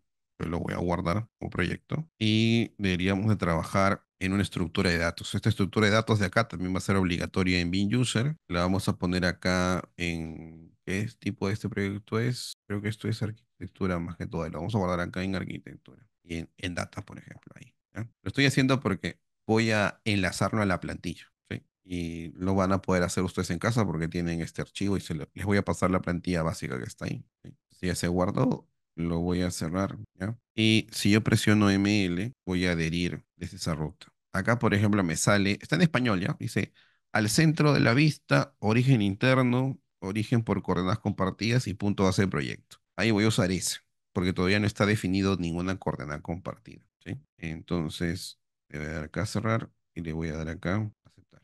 Entonces, ahí está el proyecto. Este proyecto que está acá, yo puedo insertarlo aquí al centro. ¿Con qué objetivo hago esto? Para que aprendan un poquito de lo que se puede hacer con un proyecto central, ¿no? La idea tampoco es que lo suelten así, este, a, la mala, así, eh, rápido, ¿no? Hay que tratar de tener unas, unas cotas de referencia, ¿no? No soltarlo así por así, ¿no? Pero acá en la plantilla ya se va a ir viendo, este, el proyecto insertado. Y va a cargar. ¿Está bien? Yo, yo lo he modelado ahí. No, se ha reutilizado un proyecto y lo he insertado. También. Va a depender también este, qué tan ligero esté, ¿no? Este proyecto también tiene las masas conceptuales, miren, modelo maqueta. Pues, creo que ahí ha reaccionado algunos filtros que ya teníamos nosotros, por eso se ve así. Ahora, parte de la metodología BIM y una plantilla de entorno es que tengan claro los entregables que no son. Ahí está, esa es la buena, una buena palabra. Entregables no negociables. ¿Cuál sería un paquete de entregables no negociables? Que hemos hablado desde el inicio para que se considere un proyecto BIM. A ver si me he entendido. ¿Qué sería un, entre- entregable no negociable? De todo lo que hemos hablado hoy día. A ver, se ganan un descuento, un cafecito grito. Un integrable, un integrable no negociable. ¿Qué, qué debería ser de lo que hemos estado viendo? Ya, muy bien. Ese podría ser. Te ganas un cafecito grito. Ahí tengo uno atrás para que se lo lleve. Ahora, el entregable no negociable sería un plan de ejecución BIM para el levantamiento de condiciones existentes del entorno. O sea, llevar un buen dron, llevar un buen RTK, tener el contexto exacto, tener las guías exactas para que el resto de especialidades puedan avanzar. Y ese entregable tiene que tener una lista de láminas pactadas que se van a reutilizar. Y se van a reutilizar algunas en entorno, diseño y arquitectura. En este caso, ese paquete de planos, que es una portada, las cámaras peatonales, cámara con nueve puntos, el entorno, las vistas de todo el proyecto y demás, en cada especialidad se va a tener que ver, pero con diferentes filtros. Por ejemplo, en este caso, el filtro sería que se refleje más el entorno y el proyecto opaco. En el caso que sea estructuras, miren que acá tenemos un ejemplo. Vamos a ver acá lo de las nomenclaturas. Ah, vamos a verlo desde acá para que lo vean. Ahí está. Mostrando ejemplos de un proyecto base que tenemos. Este es el ejemplo de estructuras. En este ejemplo, al menos la estructura, el entorno inmediato debería verse con la estructura para poder entender un poco cómo va a impactar eso en el entorno hasta la planificación en obra. En este caso, por ejemplo, se ve un- una sola torre y se refleja más en la que se va a ejecutar. Se puede hacer esto por tipos de losas o, por programación de obra, por ejecución de encofrado, etcétera. Ahora les voy a mostrar un ejemplo más reciente es este, es un proyecto del alumno Joaquín, creo que es este, ¿sí? Pues ese es el último. E- Este es uno de los entregables. Vamos a ver la, la plantilla más reciente. ¿Quieren ver la más reciente, no? ¿Por qué les quiero mostrar esto? Porque sería un buen referente de lo que deberían entregar en el nivel 20, ¿sí? 4 del 7, este debe ser más reciente. Miren que este, el primer, eh, la primera plantilla que les he mostrado es esta, ¿no? O sea, el alumno, basándose en, en el estándar que habíamos planificado en Grid, ha hecho su propio flujo de trabajo o ha este, estandarizado su propio flujo de trabajo. Pero ahí está lo del entorno. Cuando nosotros empezamos Bean User, entregamos este entorno, les enseñamos a levantarlo de manera correcta en los 200 con las griegas y sus linderos y empezamos a poner este, los referentes del diseño que queremos ejecutar. Y poco a poco ese proyecto va madurando hasta hacer un diseño conceptual. Ahí va la importancia del entorno exacto desde el inicio y su contexto. ¿Me dejo entender? Y ya con eso se hace este plan de trabajo, ¿eh? nomenclaturas que se van a hacer. Si reutiliza las que nosotros hemos planteado o mejora las que hemos planteado. Normalmente si esto lo implementamos para una empresa, la empresa decide si adopta parte de este estándar o todo. Por ejemplo, se hace un, un análisis organizacional con la empresa y vemos si es que si no tiene ningún estándar, adopta todo. Si tiene un estándar propio, puede fusionarlo y hacer uno mejor. ¿Están viendo? Este todavía que no lo hemos publicado, pero creo que le voy a preguntar al alumno si ya lo podemos publicar. Y todo se basa en el original. Están sus entregables. ¿Qué pasaría si yo quisiera usar un proyecto de diseño BIM que tiene una estructura de los 200 y después no calza en obra? Porque el levantamiento inicial no funcionó, no sirvió. Tendría que hacer otro proyecto. No puede haber un proyecto de diseño conceptual que no esté con coordenadas compartidas y después no coincida. ¿Me dejó entender? Sí. Bueno, ese todavía no le he compartido ese miro. Y su objetivo de ustedes, sobre todo que recién han llevado de cero, es llegar a una estructura de este tipo, a un flujo de este tipo. Les he mostrado el, el de, el que viene por defecto de Autodex, ¿no? Es un proyecto este, noruego, ¿sí? Y por ejemplo, ahí me estaban preguntando si es que vamos a ver Rhino de repente aquí. Sí, hay un taller de Rhino, creo que ya lo han subido algunas clases ahí. Ya está. Ahora, vamos a revisar lo de la charla de, de nueve puntos. Entonces, ya vimos un poquito la importancia y los usos, ¿no? Análisis del entorno, proyecto conceptual, cómo impacta esto en las siguientes etapas del proyecto. Ahí les estoy dejando referentes importantes de cómo utilizar esto hasta con Blender, con GIS, con Lumion. Bueno, actualmente todo lo hacemos con D5. Los usos, y acá están los ejemplos de los levantamientos. En este caso, cómo se planificó de manera básica el entorno este grau. Por ejemplo, este es otro sector, que hay un sector más arriba que, es, eh, que está centro al- al centro cívico. Es otro sector que tenemos. Están los tipos de drones y los, y los entregables. Acá, por ejemplo, están los entregables que, que puedes obtener del dron en resumen, desde el ortofoto, el OBJ, el LAS y los videos 4K. Por ejemplo, hay muchas empresas que hacen bastante video, uso video de dron con 4K, 8K, pero lo que hacen es traquear el proyecto, o sea, hacen un seguimiento a, la misma cámara y lo juntan como, como una edición. Pero lo que nosotros hemos hecho este, aquí es usar el, el entorno exacto, ¿sí? De- que les había mostrado, bueno, este, bueno, hay varios de estos ya, pero esto es el modelo, o sea, yo no he usado un video, he creado un video con el entorno y puede llegar hasta ser de mayor calidad, ¿me dejo entender? Este yo lo rendericé con una 3080. Ahora voy a hacer una versión con mayor calidad con la 4090. Pero sí son dos entornos partidos. Por ejemplo, esto se partió en parte norte y parte sur para que no pese tanto. Por acá se nota como una costura de repente del otro sector. Por eso ahí les hablaba del contexto, ¿no? Si tengo muy poca vista del entorno, arriba se vería vacío, ¿no? Ahí parece lo más real posible, ¿no? Entonces, si seguimos avanzando para los puntos que nos quedan, este, hay otra cosa importante, las plantillas. ¿Dónde están las plantillas que vamos a usar? Plantillas para el entorno. Si vamos a nuestro índice, en el índice vas a encontrar galerías de Drive y acá está el entorno que pueden descargar. Este entorno ya está liberado, lo pueden usar este, para sus proyectos de taller, para sus tesis, pero hagan la mención, pues, ¿no? Por ahí he visto unos proyectos de taller o de tesis que han usado ese entorno y ni la mención han hecho de que lo han obtenido. Y pueden descargar este, nube de puntos, pueden descargar el entorno urbano por partes y ahora estamos haciendo una, una versión más este, actualizada, ¿sí? Ahora, si ustedes quieren en este caso las plantillas, acá hay una plantilla de arquitectura, pero si quieren las plantillas de entorno, hay una galería de grito. Ahí tienes la resumida, ¿sí? Y, y acá está, ¿ven? Ahí tienes para las masas urbanas, ¿sí? Y para el equipamiento urbano. Lo puedes abrir acá. En la siguiente, en la siguiente sesión vamos a practicar modelando más las familias que están acá que, que la teoría.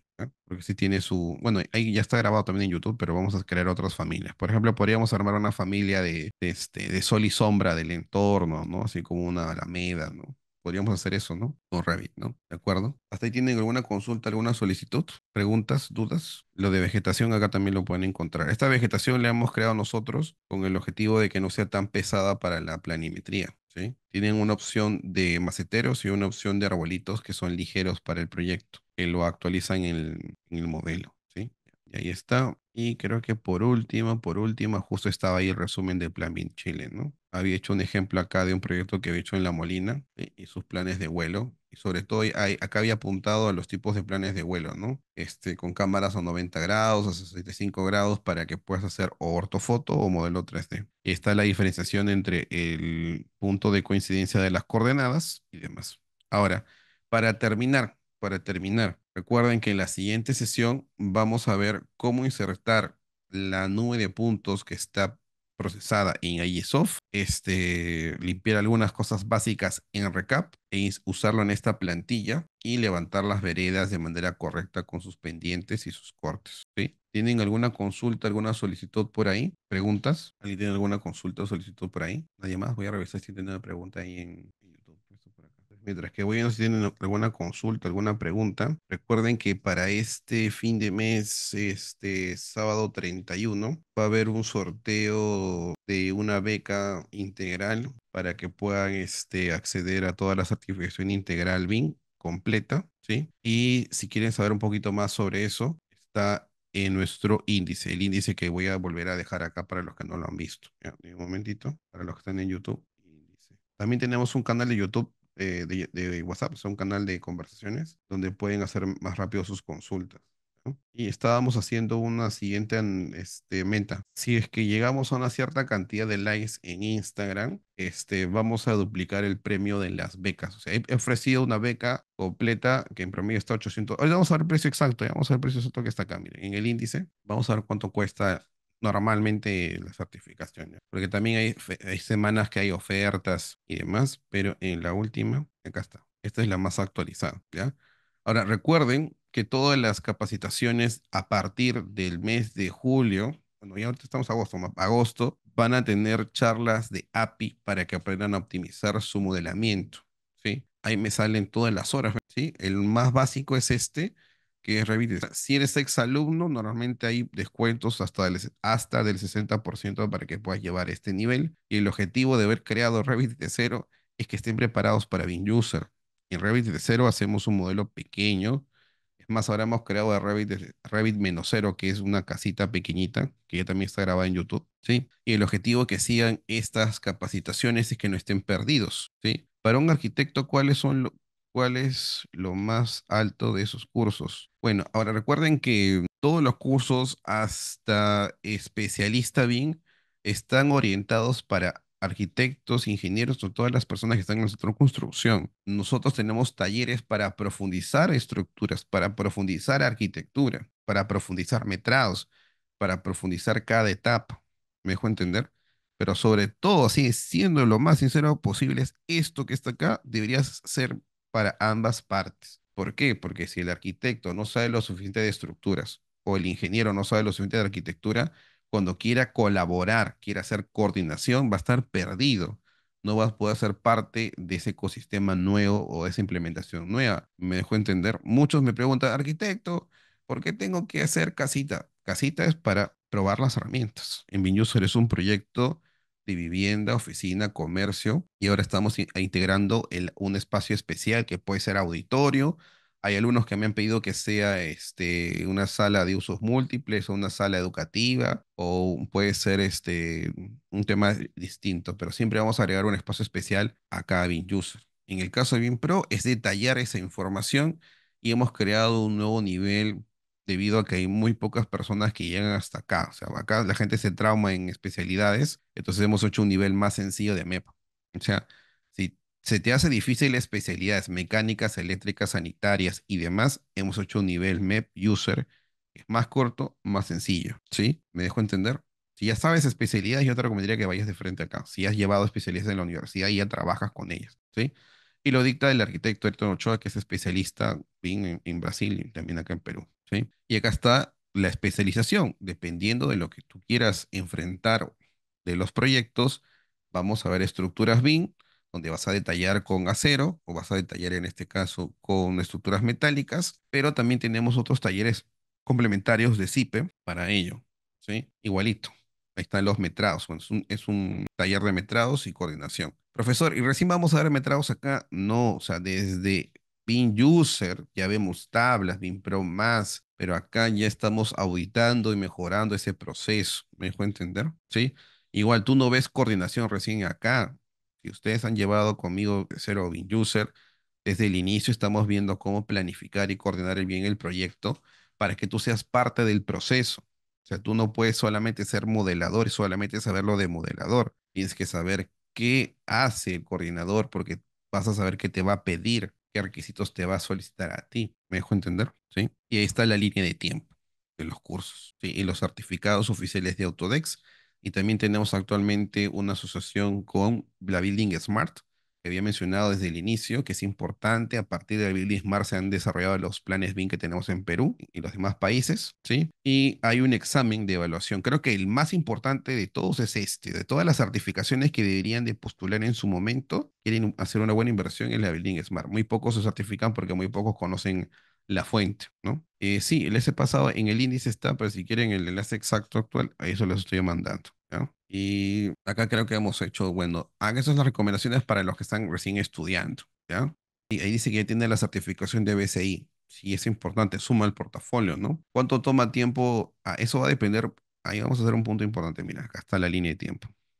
Esta línea de tiempo nosotros la hemos desarrollado desde el año 2018, 19, que tiene tiempo, ¿sí? Valga redundancia. Ahora me preguntan, ¿cuánto tiempo toma? Va a depender bastante de los alumnos y que sean estudiantes. Y yo les soy totalmente sinceros y transparentes. El problema de las capacitaciones online es que la gente piensa que estudiar online es estar en su casa y estar haciendo otras cosas a la vez, o estar estudiando otro curso a la vez, o estar trabajando a la vez. No, estudiar online de manera seria es dedicarle tiempo al curso en la hora del curso. ¿Me dejo entender?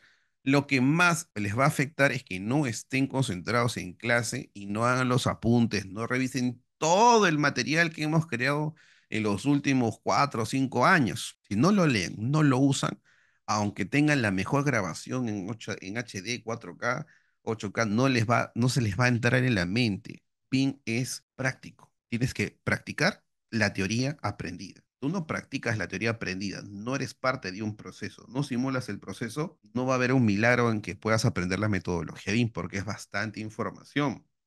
Yo veo por todo lado, ¿no? Venta de cursos BIM, piratea en nuestros cursos también, todo es online, asincrónico. Tiene que ser un curso online de verdad donde el docente va a estar atrás de ustedes y avanzar. Ahora, no todos los alumnos tienen el tiempo exacto y preciso para estar al 100% en todas las clases, eso yo lo entiendo. Entonces, si tú eres un buen alumno, puedes coordinar y avisar qué días vas a faltar, pero no vas a faltar el 50% de las clases. hay un límite en asistencias y hay tareas que puedes complementar fuera del horario curso para poder aprobar. O sea, te damos la mejor recomendación es que estés siempre atento. Pero en el caso que no puedas porque tienes un tiempo súper apretado, hay tareas que debes de completar para lograr certificarte sobre todo a partir de bin a partir de bin ya no, ya no pueden estar dejando, no pueden eh, dejar de cumplir las tareas. ¿Me dejo entender? ¿Sí? Y nosotros hemos creado un curso de nivelación. Yo le llamo, yo le he dicho, a mí me gusta el nombre menos cero, pero en el, en el equipo no le quieren dar ese nombre, le han puesto nivelación. Hemos creado ese curso de nivelación para hacer una vivienda pequeña, sencilla, porque hay mucha gente que llega en otro lado sin un estándar, sin una implementación big y no les sirve nada. O sea, usan el Revit como si fuera un AutoCAD. El peor error y el peor daño que te van a hacer es aprender a hacer Revit como si fuera un AutoCAD y calcar el AutoCAD. No se calca AutoCAD. Justo ahora que hemos visto el tema del entorno, tú vas a diseñar con información real de un proyecto. Nosotros no calcamos AutoCAD. tienes que aprender a diseñar con la herramienta. Y para que estés nutrido en el nivel de User, recomiendo llevar Revit de cero, los talleres y demás.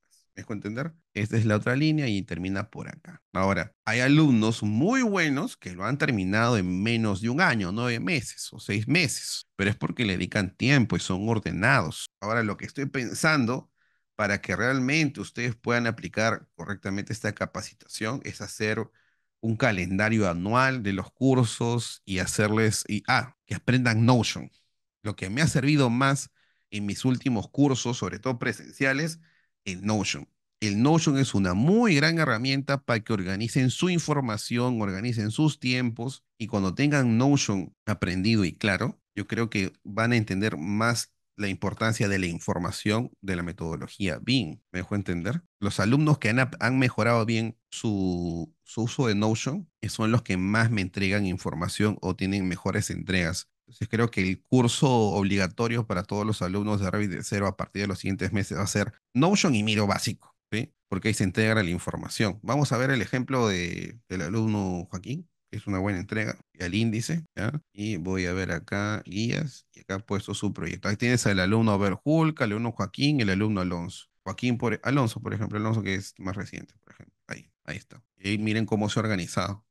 Obviamente que esto tiene un formato y una plantilla, y ahí les he puesto los entregables, ¿de acuerdo? Y ahí que está, ahí está, es un buen ejemplo de la clase de hoy, ¿no? El entorno. Cuando tú tengas la mayor cantidad de información, repito, información buena, información clara, información bien específica, información donde vas a poder revisar bien el proyecto, ahí estás haciendo bien. Dejar de pensar de hacer las mismas láminas que hacías en AutoCAD, hacerlas en Revit. No, en Revit vas a hacer más láminas, vas a hacer más información, pero tiene que tener un orden, tiene que tener jerarquías, tiene que tener objetivos, me dejo entender.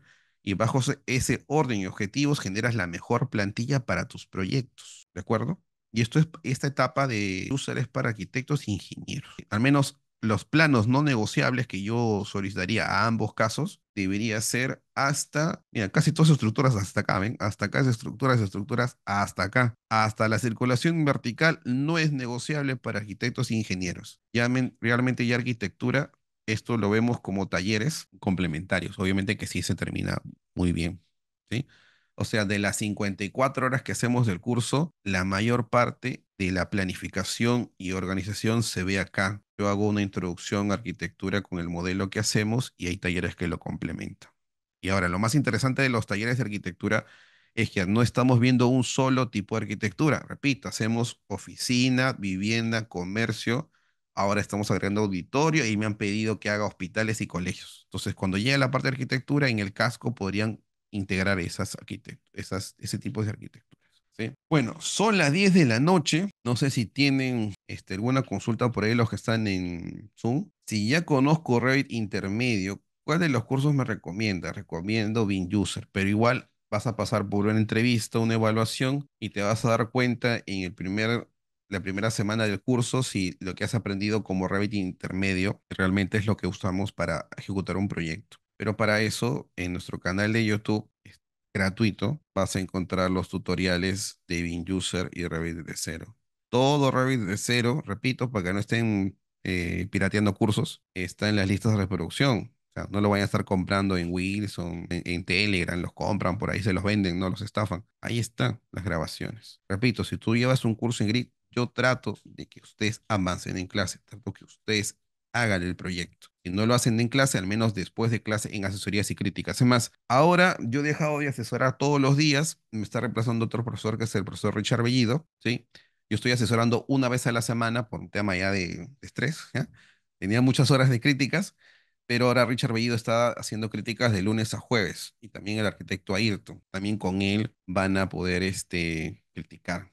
Repito, ahí están las clases de Revit de cero, completas Repito, esto es gratis. La idea es que ustedes se certifiquen y obtengan su certificado. O sea, eso sí, ya no es gratis, ¿no? Hay que pagar la certificación. Y si quieren ver los videos más recientes, ahí hemos subido, este, justo ahorita hemos subido lo de Rhino. Ahí está, ahí está creo parte 1, parte 2, parte 3. Eh, lo de API también lo han subido en clips, ¿sí? Y está el Revit de nivelación. Ustedes como Revit, yo digo que este Revit menos cero es un proyecto chiquitito. ¿Por qué hemos hecho esto? Porque veo muchas escuelas informales que ni siquiera son ATC que te cobran un montón por enseñarte eso. Ahí está en YouTube, ¿sí? revísenlo. ¿Alguien tiene alguna consulta antes de que cierre este, el enlace, el en vivo de Zoom? Los que están en Zoom tienen alguna consulta, solicitud, nadie más. Entonces, chicos, nos vemos. Me voy a cenar. Muchas gracias, chicos. Buenas noches a todos. Muchas gracias.